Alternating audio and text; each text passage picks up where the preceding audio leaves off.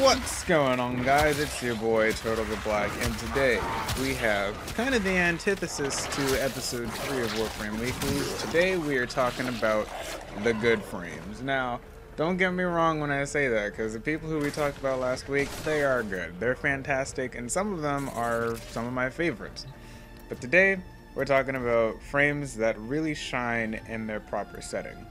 So, first up, we've got Nidus. Now, Nidus is the newest frame, and you might be thinking, well, how could he possibly be one of the best, being one of the newest? Like, usually the new frame is either really good or really bad. Now, let's, let's really think that through. Let's really dissect that and think it all the way through. So, some of these frames that came out were really strong at the very beginning. Like, let's take Nova, for example.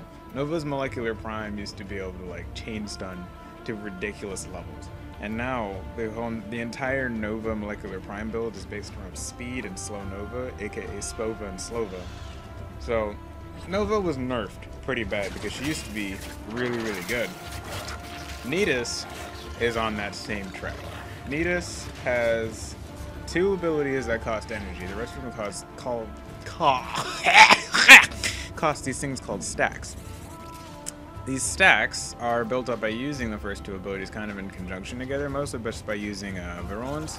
But the good combo with Nidus here is using Larva and then Virulence. So, with Nidus, you continuously raise these stacks up. You continuously gain more and more damage. Like, you get more power strength the more stacks that you have and Virulence eventually does just a ridiculous amount of damage. You can get to the point where you're starting to one-shot level 70 enemies, no matter what type they are. And it's, it's pretty ridiculous, and it's also pretty cool. But you can tell that Nidus is pretty much lined up for a nerf at this point. Like, he was already nerfed once because of his pa passive ability, which is called uh, Undying, which when you get to 15 stacks or higher, if you take fatal damage, he will go invincible for about five seconds, I think. And those 15 stacks will be consumed, but he can't die, essentially. So if you're like 100 stacks and you're just getting dicked on by somebody, you just keep losing these stacks, but you won't die, is the thing. So Nidus and Inaros kind of both have the same trait in that way. I think Inaros is probably a little bit better because Nidus can kind of get like chain stunned to death, but it's a bit of a problem. But his damage output is just fun godly powerful. Like, Nidus can drop people like it's nothing. I can take Nidus to a defense mission and chill there for the longest time. He's almost as good at defense missions as my girl Banshee is. But we can talk about that at a later date. So, Nidus, I would recommend for infested missions almost exclusively. Not like he's bad against Corpus or Grineer. He's not. I mean, he's not bad at all against either, or any faction, really but I'd prefer him for Infested because the Infested tend to clump up in groups, and so they're a lot easier to grab with Larva and then just kill with Virulence. So if you're going to use Nidus, I'd recommend him for Infested Survival or Defense, just any kind of Infested mission, but preferably Survival mission. Next up, we got my boy Excalibur. So Excalibur is one of the highest played frames, simply because A, he's the first, B, he's like the overarching character of Warframe. Like when you type in Warframe on Google Images, probably the first thing you're gonna see is gonna be Excalibur and then a whole bunch of gross fan art. So don't do that. Especially don't type in Warframe Rule 34. You're in for a very undelicious treat. So Excalibur is kind of exactly what they say. He is kind of the most balanced uh, just Warframe for both defense and offense uh, in terms of just playability. Um, I personally use him more for offensive capability because I don't do a lot of defense, and that kind of goes for any game. Like, I don't use shields in Dark Souls. So that goes ahead and tells you kind of how crazy I am. But uh, Excalibur, um, he's just all around pretty damn good. Like, even at low levels, he's not bad. Like, uh, Slash Dash can be very useful with the right build. I don't use it very much because my build doesn't suit for it because I'm using a, and this build is um, Exalted Blade because that's pretty much all I use exclusively. But once you get to that Exalted Blade level, that's when he really starts to shine, and he can pretty much be used anywhere. Like I use him on Grineer levels, Corpus levels, Infested levels, like people can attest to this. When I need to take out a high level like enemy or do like a high level mission, Excalibur is almost always at the top of my roster because Exalted Blade drops just about anything no matter what. Especially since it scales off of melee damage and there is a whole lot of really powerful melee weapons, especially things like Galatine Prime, Full War, not Broken War, but Broken War is also pretty good. Dragon Nikana, Nikana Prime, stuff like that. Really high damaging melee weapons could do a significant damage increase to Exalted Blade, especially with mods like Berserker to put up the uh, attack speed of the Exalted Blade. Those projectiles will go out a lot faster, which kind of allow you to get a synthesis between close quarters and long range combat, which makes Excalibur just really, really good overall. So I, I would take Excalibur for pretty much any mission, honestly. Uh, if you're going to run an Exalted Blade build, he's good for just about everything. Um, using a Radial Blind or Radial Javelin build would be good for defense missions almost exclusively. Um, and I know this for a fact because I used to see people do it all the time. Um, they would do a maximum range Radial Javelin build and take them to Draco, Ceres and just spam it and spam it and spam it it was pretty much like the affinity farming thing at the time, and now that's like what I can add. Maybe that's for credits. I don't know. I don't really go farming too much, but Excalibur with the right build can be used for just about anything. If you need more specialization, do Radial Javelin, Radial Blind build. It's pretty good. Next up, we're going to talk about Loki. Now, this video is not talking essentially about powerful frames in terms of strength, rather than their usability in certain objective types. So Loki, I think, is the most powerful frame for spy missions. Now, I know in the last video I said that Ivara was the best stealth frame, and I'm sticking by that. She is the best stealth frame. But as far as spy missions go, Loki's moveset is a lot more suited to that type of mission because of a simple, very easy to use combo, switch teleport, and decoy if you get to kind of a room in any kind of spy mission, this usually shows up in Corpus missions though, where there's like laser grids, top to bottom, left to right, just all over the place. Set up a decoy, kind of where you need to be, away from the lasers, and if you time it correctly, you can usually use switch teleport to switch with your decoy, and then you'll be past the lasers and you need to be, or you'll be where you need to be which is fantastic. I almost exclusively take Loki out for spy missions unless it's like a low level one where I can pretty much take anybody and they'll be fine. But Loki is fantastic for spy missions. He's pretty bad for just about everything else. So keep that in mind. The only other thing where Loki really shines at is sometimes defense missions, and that's really only with irradiating disarm augment. Because the radial disarm, I mean, it's fine. It's not like it's a bad move, but it's not like it's really doing much of anything. It switches them from like shooting at you to trying to come up and stab you. And Loki's pretty damn squishy. So if they stab you, you're probably gonna die, especially on like high level missions. If you use radial disarm and you just get swarmed, you're pretty fucked. So irradiating disarm helps quite a bit with that. But I'd pretty much only use Loki for spy missions because he is really the best there is for that kind of mission type. So keep that in mind. Um, for this character, I definitely try to use a maximum duration build, and even with the ones that I have, like I know I don't have narrow-minded maxed out all the way because that would require me to forma, a lot of warframes. I don't want to have to deal with that right now. But for this build, uh, I definitely go for max duration, and with what I have right now, I'm pretty sure invisibility lasts for about 24 seconds, which is considerably higher than uh, Ash's smokescreen. Um, and it doesn't cost too much either. And if you're using Loki Prime, then energy is not that big of a deal because you have quite a bit at your disposal. So maximum duration, range shouldn't be an issue unless you're trying to do a radial disarm build. Uh, switch teleport and decoy are kind of not a big deal because your switch teleport will reach as far as your decoy. So definitely take Loki out for spy missions. Probably shouldn't take him out for much else capture missions are okay too, because he's pretty damn fast. If you're going to go for a speed run, take, take Loki. Next up, we're going to talk about Frost. So again, not necessarily in terms of power, but just in their usability for certain mission types. Everybody knows Frost is the king of defense. Why is that? Snow Globe. Simple. Just Snow Globe. That's it. Like, you take Frost out, you know what you're doing. You have literally one job.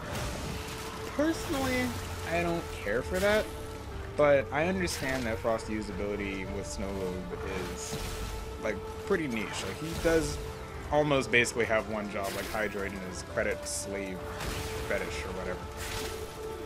But I don't like using Frost for that. Like, exclusively. I do think he is the best defense frame out there. Because Snow Globe's usability is pretty good. Like, the only one that could really contend with that would be Vauban's Bastille. But I think Snow Globe is pretty good in its own right. So,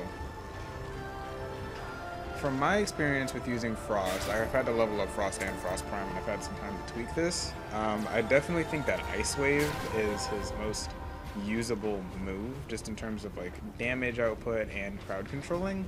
Just because if you have the right build on it, you can increase the range, and the horizontal spread will do just a hell of a lot of work and keep people frozen and slowed down quite considerably. So, Snow Globe is good for defense. I'm not denying that. It is fantastic. It's probably the best that Warframe has at the moment. However, I don't think Warframe should only be used for one singular job, except for Trinity, because that's really all she's got going for her. Uh, Link can be used in offensive capabilities, but we're not talking about her right now. We're talking about Frost. If you're only using Frost for defense, try switching it up. Use Ice Wave, try to go for an Avalanche build, really just try to do something new with him because he can be used for a lot more than just defense. But in terms of strength per mission type, Frost is definitely the best defender they've got. People who come in a close second or third would most likely be Vauban, and then maybe Zephyr because of the tornado ability, but that's kind of off and on. Nova's pretty good too, but it depends on which build you've got running for her. Um, I also like taking uh, Nyx because Absorb with the right build can do quite a bit. But again, Frost, Defense, try using Ice Wave, try using Avalanche. He's pretty good in most aspects of the game. Last but not least, I would like to talk about someone who's very near and dear to my heart. And we have the exclusive pleasure of talking about Valkyr. Now, most of you who are probably watching this have seen my Valkyr is OP video. And that's pretty much self-explanatory. Valkyr is broken. She, she's, she's broken. She's broken. Hysteria is broken. It is like the only move that gives it out invincibility frame is for an extended period of time. And that makes her broken. Like, I, I don't really know how else to put it. She's, she's she broke. She mad broke. So, don't get me wrong. I love Valkyr. I, I really do. Like, I think she's one of the most innovative frames and the most interesting just because of her background. Like, the original Valkyr has this whole crazy fucked up story. And it's really interesting. You should really look into it. I'm not going to talk about it now because not the point. But Valkyr's great. She's great. She's awesome. Um, I don't have a lot of use for Ripline. It's pretty cool for like tethering and pulling enemies, but I have Mag for that.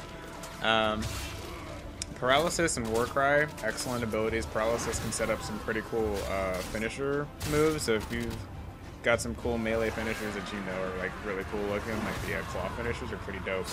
Um, par paralysis sets up a pretty good uh, way to get those off and do some extra damage. Now, of course, when we're talking about Valkyria, we can really only talk about Hysteria because that's primary use of her. Like, most people will only use Hysteria with Valkyr. And that's understandable because the rest of her moves don't really have a lot of damage output. I mean, Ripline sure as hell doesn't. It's mostly used for traversing maps and for also getting other players up to inaccessible areas. But, uh, Hysteria is what we're really here to talk about. Uh, Hysteria gives you invincibility, and it also uh, changes your jump animation, which I think is fantastic. It has, I believe, two augments, two mod augments for it. I'm not sure. I will have to check on that. One of them I do know um, allows you to jump onto people and attack them, which is pretty fucking cool, and basically turns you into a Grineer Manic, which I think is awesome.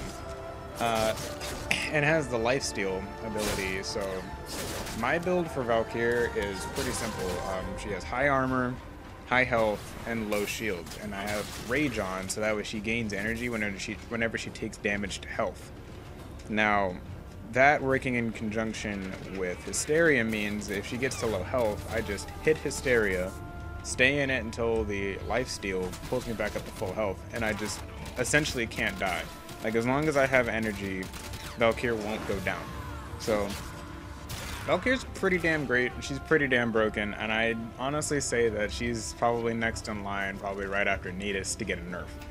So in terms of usability, I'd take Valkyr out for exterminates, survivals, captures, maybe defense missions. She's not like I wouldn't say she's bad for, but she doesn't have like crowd control ability. She's a really heavy one-on-one DPS frame, but not like a CC frame like Frost or Mirage really is. So definitely good for things where you're taking out like one at a time. Exterminates and survivals especially.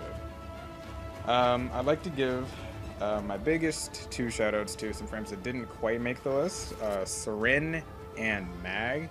And I'm including Saryn on this list because Saryn has this new combo setup with uh, Spores and Miasma, which I think is really interesting. So back in the day, Miasma used to be like just as overpowered as Nova's Molecular Prime. Like one of my good friends uh, used to use Saryn all the time, and I would run Nova. We'd go into the void, and we'd just be unstoppable. Molecular Prime would keep him down, Miasma would drop him, and they would just go. There'd be no enemies on the map. It was fantastic. Both of them have gotten nerfed since then, but Saryn's still pretty potent. If you have a good range build going for Sirin, you can use Spore, and Spore will slowly just kind of make its way around every enemy that's around you, and as long as it's still up, it'll eventually get to pretty much the entire tile set, like as far as you can see for the most part. And whenever you're just in a bind, use Miasma, and they're all gone. It, it really doesn't matter where you are; they're just dead. They're done. They're, that's it. Game over, man. Game the fuck over. Um, and this applies just for anything that takes toxin and I believe viral procs. So grab yourself a Mutalist, Cernos, an Embolist, a Charist, anything that does toxin or viral. Go out and just spores, toxic lash, miasma. When you're ready to go, just use miasma. It'll drop everything.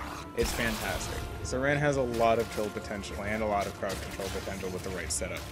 Now, I mostly use Saryn against Infested and survival or defense missions because, again, the same reason with Nidus, uh, they clump up really easily, which allows the uh, crowd controlling to just be a lot more effective.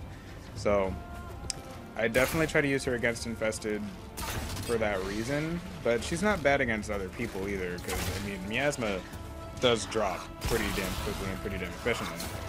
It really doesn't matter what you take her out for. Um, Survivals are best for her, from what I've noticed. Uh, but just really anything where there's a high density of enemies, where a spore can really just jump from one to another, is pretty much all you're looking for. It's all really all about the density of enemies and how quickly you can get spore to affect a large amount of enemies. So, I also want to talk about Mag uh, real quick because while I don't necessarily think she's like terribly strong in terms of DPS, and it just might just be the way my build is set up. Um, I think she's gotten a lot more popularity, and it's probably a big like addition to that or um, influence of her popularity is just because she's a, a starter frame. But I've seen a lot of mags out recently, and not necessarily like Master Ranks 1 or 2 or 3, but like Master Rank 9 and 10 and up and I kind of looked into that, and from what I found, Mag's abilities have really come a long way. Like, way back when, Mag used to be my defensive lady, and she wasn't great at it. I set up essentially a stun lock build, not really a kill build, and I would take my friends out, and we'd chill in the void, and when the enemy would get too close, I'd just run Crush. And Crush back in the day only did one proc at a, well, I didn't do one proc at a time, it only did one proc. So I just used him to stun lock him and just push him down. And my friends would clear him out for me, and I could just keep casting that because of fleeting expertise. My ultimate only costs 25 energy. So I thought that was pretty neat. Like the build worked for me, it worked for my friends. It was just a good setup. Now her abilities have really taken a new level. Pull is still one of my favorite abilities to use just because I mean I call Mag the Soul Stealer exclusively for this ability because it just like drags the soul out of their body. When they die from it immediately, it looks pretty cool. But on top of that, if you're nearby like an edge or something, you've got your back facing it, and you use pull, they'll just fly off, and they're dead. They're, you can't respawn from that. That is like a death barrier for them. So if you set up that correctly, you can kill really high level enemies just by pulling them, and it's pretty awesome. Um, Magnetize and Polarize are also fantastic. Polarize gives you uh, shields and potentially overshields for your team, which is fantastic because it gives Mag kind of a healing aspect where a lot of frames don't have it. The only ones that do are Nidus and Trinity, obviously, and Oberon. I don't know if there's any more. I mean, I know Volt can do capacitance builds and whatnot. but Mag has polarized just innately, which is it's awesome. It's the one low-level frame that has some kind of healing ability. So she's pretty useful for support builds. Magnetize, I never really use just because the way my build is set up. It doesn't have like a high enough range to really, I don't even know if it's range, I think it's duration actually. Uh, it doesn't have a high enough duration to really get what I needed to do. But I know its potential because back in the day, um, Magnetize used to be able to pull in um, radial javelins, and if you set that up on a boss, I'm sure you can understand what kind of damage you're doing if you have all of those javelins go towards a singular enemy. It, it kills them instantly. Like, there's no coming back from that. Radial javelin uh, Magnetize called bullet back in the day, but um, radial javelin Magnetize combos were pretty broken, so that got patched. But it essentially still works the same way. Uh, magnetize with a high level weapon will drop a lot of enemies very quickly, and the explosion damage afterwards is pretty great, so I will probably start looking into some magnetized builds for Mag. Uh, the final ability, Crush, it's crowd control. It's fantastic crowd control with that, especially now that they put on three ticks of damage. Um, it's definitely a lot more usable than it used to be. So I use Mag mostly for defense missions just because she can cover a wide radius of enemies and just does a pretty good job of keeping the enemy at bay and keeping your team up. So Mag is definitely a very strong support frame, and I'm really excited to see her growing in popularity.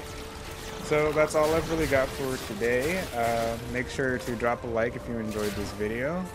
Um, be sure to keep an eye out for new videos coming out sometime this week and next week. And be sure to comment and subscribe, and uh, give me some suggestions if you thought there were some frames that missed the list, or if you'd like to see uh, frame featured in one of my upcoming videos. Uh, leave a comment, just let me know, and uh, I will see you guys next time. Bye-bye.